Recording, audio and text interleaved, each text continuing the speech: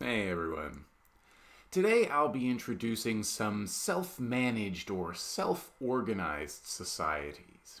If you don't know what I mean by terms like self self managed or maybe spontaneous order, please watch at least one of the videos I've made over the past few weeks. There's a link to the full playlist in the description, along with all the books and articles I refer to in this video. This video is number six in a series of why free, independent people and societies can exist and have existed throughout human history. I'll be introducing these societies only. I won't go into too much detail because that'll take forever, and you can do that for yourself. I think the place to start in any discussion of free societies is the fact that until the rise of so called civilization, and by the way, I've made a whole playlist on that too. All humans lived in free, non hierarchical societies. People lived in small groups of hunter gatherers, and they didn't have permanent structures of rule. Kings, empires, governments, the powerful church, none of these institutions existed. So when people tell me we can't live without rulers and leaders or whatever, I ask them who we are. Certainly not all humans. Maybe domesticated humans.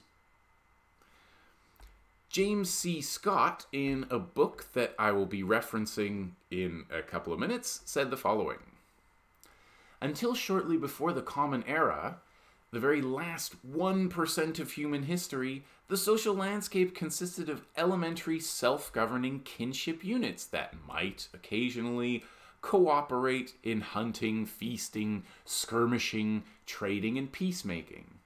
It did not contain anything one could call a state. In other words, living in the absence of state structures has been the standard human condition. And as I explained in my video on the state, all that was interrupted, and people were forced to settle and farm and obey their masters. But even then, the drive for freedom has always existed, and from the midst of the chaos of external rule, people can still free themselves. People sought refuge in places out of the way, such as the Amazon where today indigenous people are losing their ancestral homes to agricultural and industrial expansion, aided, of course, by state muscle. Living outside the state was a realistic option until maybe a few hundred years ago. Scott's book is called The Art of Not Being Governed An Anarchist History of Upland Southeast Asia. In it, he explains the history of the politically autonomous region in the highlands of Southeast Asia that uh, anthropologists dubbed Zomia in 2002. Um, the, these groups uh, mainly descended from groups that left the lowland states. The people of the whole region reorganized their social structures, their folklore, their agricultural, even, to be inaccessible to the state. I find it a fascinating book because it shows how even planting crops and telling stories can be a choice to strategically avoid domination. Those escaping predatory lowland states were runaway conscripts and slaves, uh, war refugees, religious minorities, people fleeing taxes, and maybe just others who figured it would happen to them sooner or later. When the state attempts to incorporate stateless people, it always clothes its actions in the language of civilizing the barbarians, development, economic progress, literacy, art, and so on. However, it inevitably does so by force, forcing people to settle, work, and follow laws but it's almost impossible to subdue the people in the Southeast Asian highlands, partly because they're just hard to get to, but also because their social structures have no hierarchy that encroaching states could have used as agents of control. They couldn't co opt the president because they had no presidents. Their subsistence routines, according to James, uh, their social organization, their physical dispersal, and many elements of their culture, far from being the archaic traits of a people left behind, are purposefully crafted, both to thwart incorporation into nearby states and to minimize the likelihood that state like concentrations of power will arise among them. State evasion and state prevention permeate their practices and often their ideology as well. And good for them. The long existence of Zomia disproves the hypotheses that we require some kind of coercive hierarchy to function as societies, or that an elite with coercive authority will always emerge over time. Now, I don't want to romanticize so called primitive people and cultures. They're so varied, there's not much you can say about all of them. Some of them are hunter gatherers, and some of them are settled. Some of them have permanent social hierarchy, and some don't. Some of them go to war seemingly all the time, and some of them never do. And none of them require our intervention. But by observing them remotely, we can learn about our own nature and what kind of social organization is possible. Society Against the State by Pierre Clastres starts with a discussion on social structure. The book is a kind of precursor to the art of being governed, set among the indigenous people of South America, and his findings are similar. He takes great pains explaining how cultures choose to avoid arbitrary hierarchy or concentrated power. Do you know about Dunbar's number? In the 1990s, anthropologist Robin Dunbar suggested humans could manage about 150 stable relationships with other people.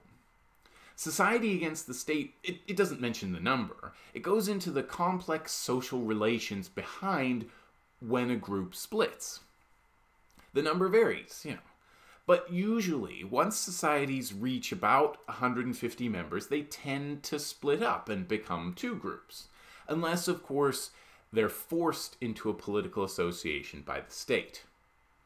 Community self governance seems to be able to work fine up to about 150 people.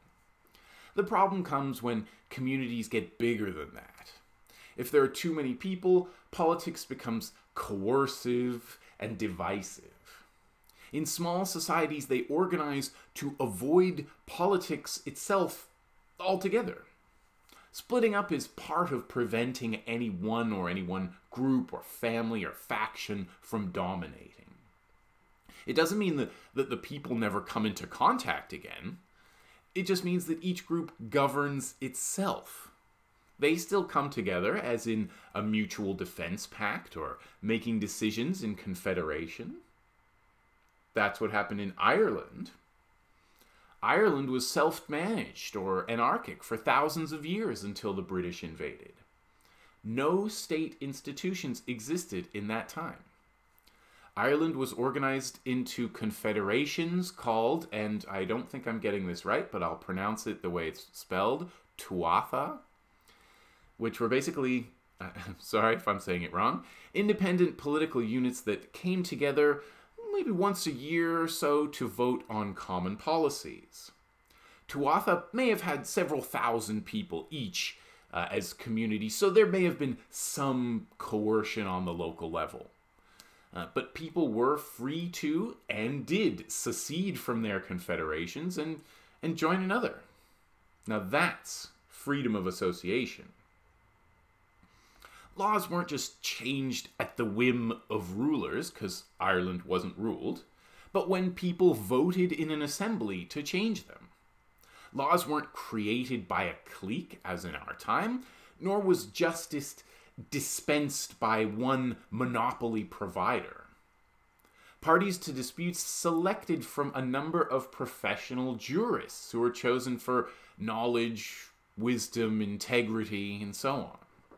Several schools of jurisprudence existed to choose from. If someone hurt someone else and didn't make up for it the way they were supposed to, the entire community would consider them an outlaw. Ireland suffered small scale conflicts for sure, but without a central state that taxes and conscripts, these conflicts were negligible compared to the bloodbaths going on in Europe at the same time. I talk about Ireland, but there's a good chance if you live anywhere in the Americas, there was until quite recently a relatively free group of indigenous people who used to live where you do now. If you learn about their history, you might see their systems as more appealing than living under the colonial states that dominate today. Certainly, colonists used to think that. They would run away to live with the surrounding tribes sometimes. You could learn about the Iroquois Confederacy, which was a great way of ensuring autonomy and peace, at least until it was destroyed by the British, like Ireland was. The British Empire has killed free societies all over the world. Opportunities to escape state control arise during revolutions and wars.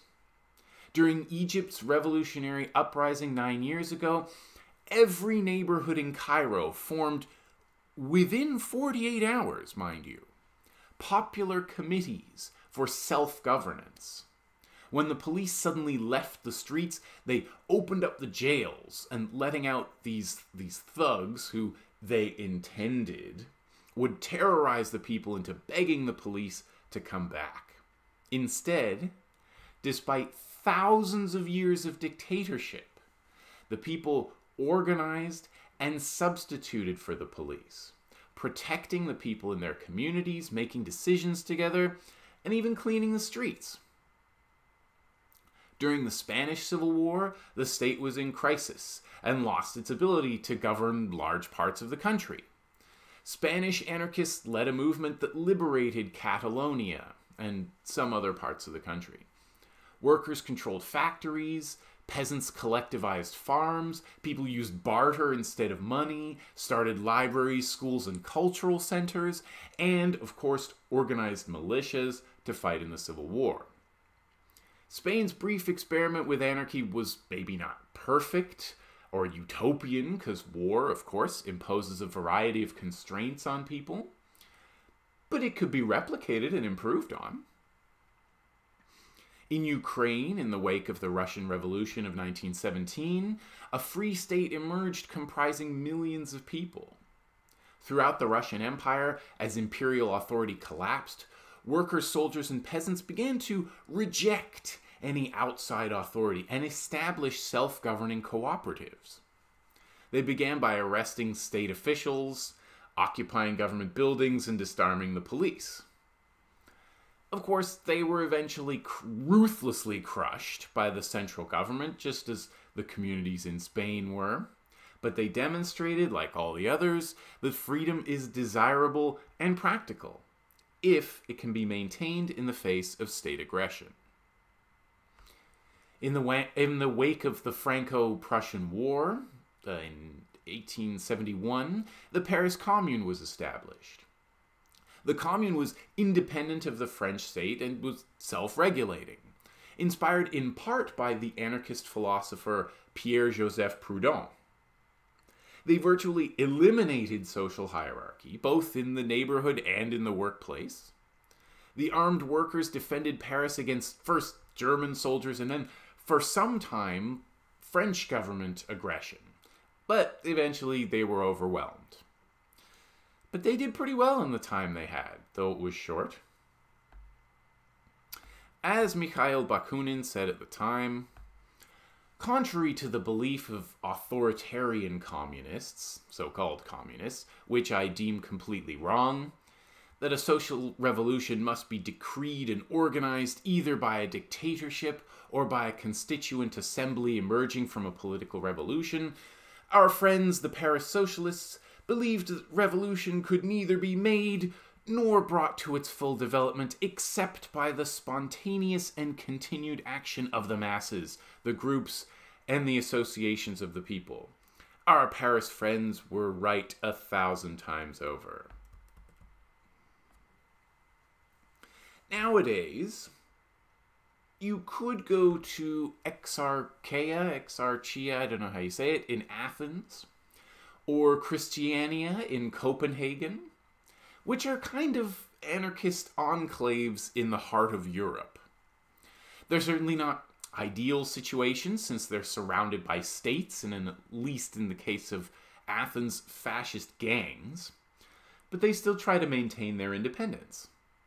You could visit Marinaleda, Spain, which has become a successful village because it has seceded from Spain's capitalist economy. You could go to Cheran in Mexico, where they kicked out predatory police, drug traffickers, and loggers alike. It seems to have been pretty free and peaceful since then. The Zapatista revolution in Chiapas has successfully carved out whole sections of Mexico to be self governed. Now, perhaps the most exciting modern example uh, of, of what we're talking about is that of Rojava in Syria, where, thanks to the civil war and the resistance against the government, the Kurds of northern Syria have been able to carve out a free system for themselves.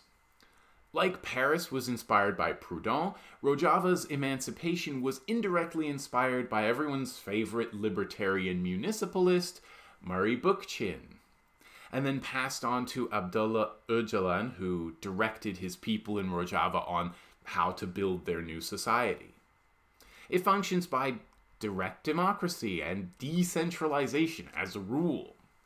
It's eliminated discrimination based on sex and religion. It's become a model of tolerance, democracy, and environmental sustainability. And like all free societies, it's under attack. Now, some people will reject all these examples that I've just given because few, if any of them, are truly free, self managed, self organized societies. The societies that have existed without the state are already evidence that the state is not necessary. And if people really want to, they can live free.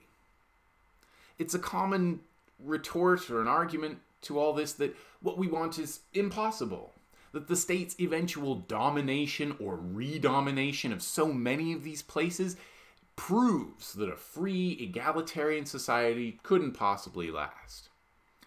But everything depends on context. We've got free societies that have lasted for thousands of years. Maybe the state couldn't reach them, or they reached a compromise. History's full of compromises. It's also full of what ifs. What if the people of the Paris Commune had persuaded more soldiers or guards to desert? Or if they just had more people doing the things that needed to be done? What if more European colonists had defected to the relative freedom of the neighboring indigenous people? What if we throw our support behind Rojava? What could it become? Freedom's possible but it has a high price. Thanks for listening.